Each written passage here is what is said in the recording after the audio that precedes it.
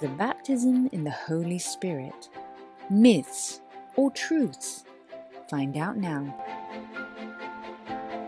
Hi there, you're joining us on our journey in the 21 day fast of Daniel. This is your program, Myths or Truths about the Baptism in the Holy Spirit.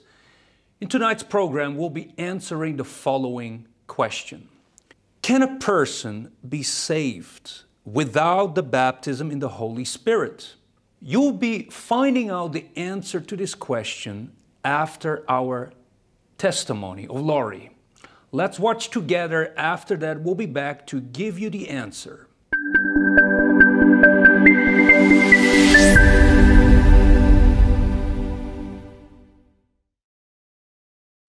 Hi, I'm here with Laurie Barcena, and she's going to be sharing with us today her experience, how she received the Holy Spirit. So, Laurie, thank you for joining us. So, um, let us know first, how was it before you had the Holy Spirit? Before I had the Holy Spirit, I was a person um, which is judgmental. I had uh, grudges inside of me. I have also so many complexes. Mm-hmm. Where did all those things come from? Those grudges, complexes. Where? What was the root? Um, because of my childhood past, I, I was a victim of um, sexual abuse. I was bullied mm-hmm. at school, in our community as well. So I guess that yeah, so that caused you to develop those grudges, hatred toward those people. How did that make you feel inside though? Like how did that affect you personally? And because of those things, I became um, low self-esteem, mm-hmm. low self-confidence, and I don't want to make friends with others because I don't trust others. Mm. Did you experience any sadness, anything out of that? Um, well? Because of those, uh, I feel empty inside of me, mm-hmm. and because of those emptiness, I tried to fill it in uh, with some friendships mm-hmm. and uh, relationship as well. And did those relationships, friendships, help to resolve that emptiness that you felt inside? Honestly, no. Mm. Um, I became more um, depressed, and uh, they introduced me um, addictions. Mm. Um, I became addicted in drinking alcohol mm-hmm.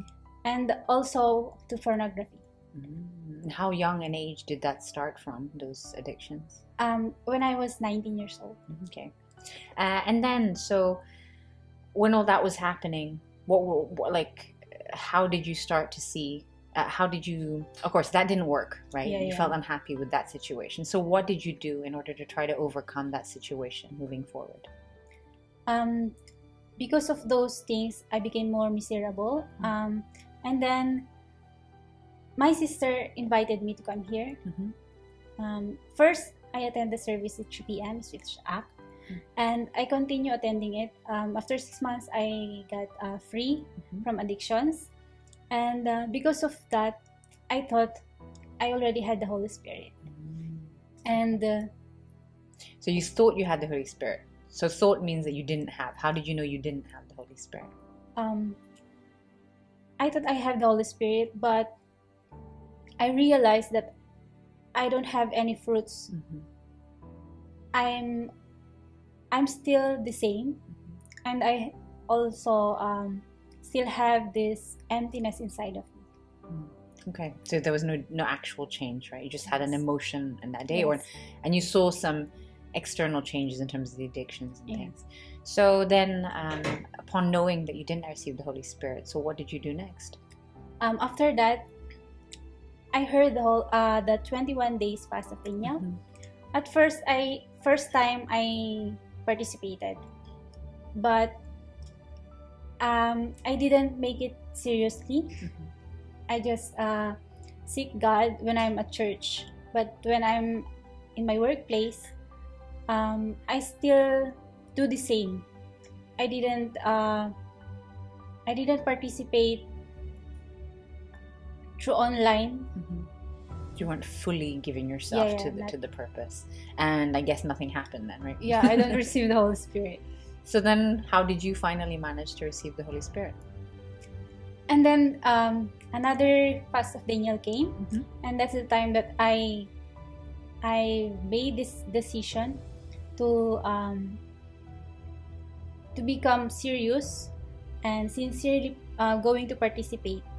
because I I want uh, God, I want Jesus inside of me, and I want to become a true servant. That's right. I want to receive the Holy Spirit. You didn't want to be pretending anymore. Yes. Right. Exactly. And you wanted that real happiness. So, how was your your experience that uh, second 21 days? Can you let us know, like step by step, how did it go for you? What did you do? And finally, what was the result? Okay. Um, I seek God whenever I am at church, at my workplace, in the market. I always thought about God.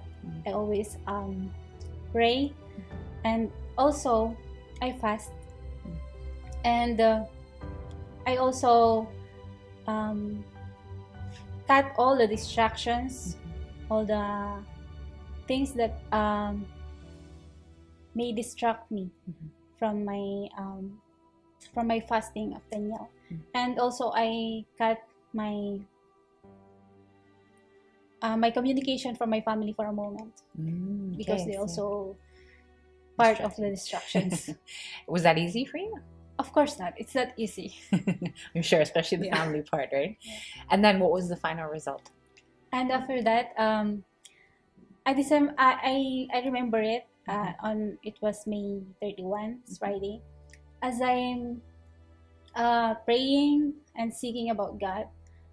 At that time, I I had this assurance inside of me that I already saved, and uh, I had the peace inside of me, Mhm. which is I don't uh, understand before, and the joy, and And you understood that to be the Holy Spirit, right? So after that day, then what changes? Because you said the first time when you when you thought you were bap- baptized, you saw no fruit. So what was the fruit that you saw the second time, the second time um or the real time? Let's say. yes the real time now i uh the fruits that i had is the course the peace it's the Mhm. first uh, love and the joy and i also participated uh in evangelizing you didn't before. before no Okay. and because uh i i want to share Mm. i want to share um jesus to others uh, i want to share also salvation And that joy, you understood that other people could also experience. You want to share that love with them as well, Yes. right? And did you? Did anybody else, your family, like employer, see changes in yourself as well? Um, yes. Uh, first, my employer, of course, because uh, they are with me, Mm-hmm. and uh, people from church also, and my family as well, because we every time we communicate, Mm-hmm. they they saw changes on the way how I speak to them. How is the difference? Like, how do you speak to them before versus how do you speak to them now? Before, I was very te- hot tempered Okay, when I was speaking with them. and now no more. Now, no more. I also uh, speak with them about God. Awesome. Thank you so much for sharing with us today, and thank you very much for joining us again.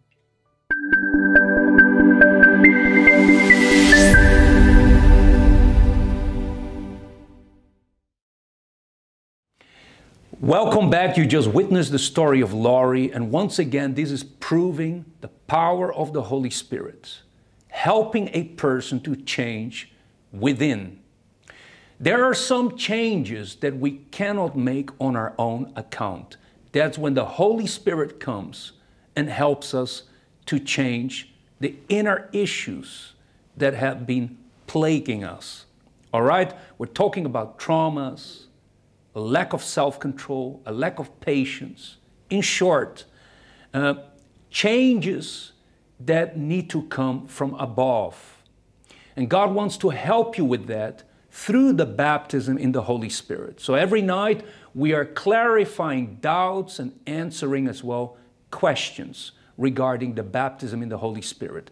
Tonight we will answer you the following question Can a person be saved without the baptism in the Holy Spirit? The answer is yes. You can be saved without the baptism in the Holy Spirit. Remember the thief on the cross when Jesus was crucified. There were two thieves. One rejected and ignored the gift of salvation. On the other hand, there was one that accepted the gift of salvation. The thief on the cross was not baptized in water, he wasn't baptized in the Holy Spirit, and he simply believed and he got saved. And after that, shortly, he died.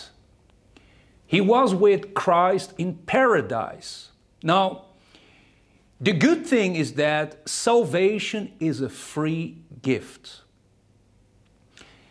Though salvation is free, it wasn't cheap because it cost the life of our Lord Jesus Christ. In return, He expects us to surrender our lives to Him. And this salvation comes by grace through faith. We need to demonstrate our faith, believing in Jesus, being the Son of God, believing in this gift of salvation being free, and believing without doubts. It's that simple, it's that easy for us to receive salvation. Now, though salvation is easy to receive, but after we receive salvation, most likely and in most cases, we don't immediately die. We're still going to be around here on earth. How many years? Five years? Ten years? 15 years. And now it's our challenge to keep that gift of salvation and never to lose it.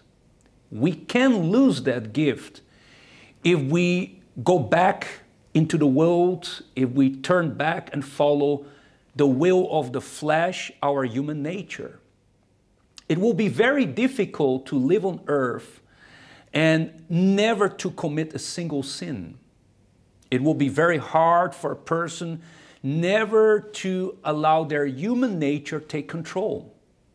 So God understanding that, he gave us the Holy Spirit so that we could live in this world but not participate in the sins of this world. And that's why the most important gift that God is willing to give us is the Holy Spirit who will accompany us and help us in our journey here on earth. Let us read here the next Bible verse. In the book of Acts, chapter 1, verse 8, but you shall receive power when the Holy Spirit has come upon you. And when we talk about power, yes, the Holy Spirit is power, power given to us for us to totally overcome sin on a day to day basis because after you receive salvation, you're still going to have temptations. After you receive the free gift of eternal life, you're still going to have tribulation and trials that you need to overcome. Overcoming them alone will be very hard.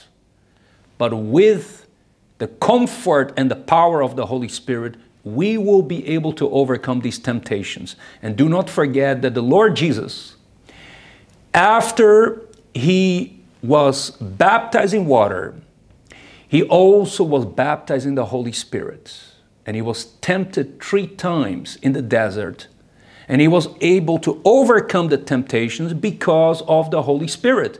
If the Son of God, Jesus Christ, needed and required the Holy Spirit for him to overcome his battles on earth, how much, you, how much more you and me. And to conclude, let us read here the following Bible verse. In the book of Romans, chapter 8, verse 13. For if you live according to your human nature, you are going to die. But if you, by the Spirit, you put to death your sinful actions, you will live. So, this is a very clear understanding that we receive salvation whilst we may not have yet received the baptism in the Holy Spirit. But we cannot continue in the flesh. We cannot continue with our human nature. If we continue in the flesh without the baptism in the Holy Spirit, we're going to lose our salvation because sooner or later we will fall into sin. So, therefore, the believer, the Christian, needs the power from the Holy Spirit to be victorious on earth, overcoming sin, overcoming the temptations so that they will stand firm and faithful until the last day of their life, and that they will be able to enter the kingdom of heaven and remain and keep their salvation intact. All right, so this is the answer to our question today. You can be saved without the baptism in the Holy Spirit, but then after your salvation, you need the baptism in the Holy Spirit to maintain and keep your salvation intact. It's like a marriage. It's easy to get married, but it's much harder to maintain and keep that marriage. The Holy Spirit is given to us so we can keep our marriage with God intact. We will be back tomorrow again with another myth or truth about the baptism in the Holy Spirit. But before that, I want to minister to you right now the power of the Holy Spirit. Right now, here, I minister to you the power and the baptism in the Holy Spirit. The spirit of life, the spirit of power for you to overcome all trials and tribulations, all temptations here on earth. That you in the body, in the flesh, you will be led by the Spirit. You will be controlled by the Spirit. You will be moved by the Spirit. And that the Spirit will guide you in all truth, protect you, and lead you to the eternal kingdom of the Lord Jesus Christ. Receive it right now in Jesus' name. Very well. All of you are blessed. Now remain in faith, and on August 23, on the last day of the fast of Daniel, we will conclude the fast with the great day of the wedding of the Lamb. For more information, you can text us today. You can walk into the Help Center. We're open seven days a week for solitary prayer in the sanctuary. Have a very good night. God bless you abundantly. Imagine being the fountain of joy and peace, and no longer needing to run from one side to another in search of momentary pleasures. This happens to those who receive the Holy Spirit. Whoever drinks of this water will thirst again. But whoever drinks of the water that I shall give him will never thirst. But the water that I shall give him will become in him a fountain of water, springing up into everlasting life.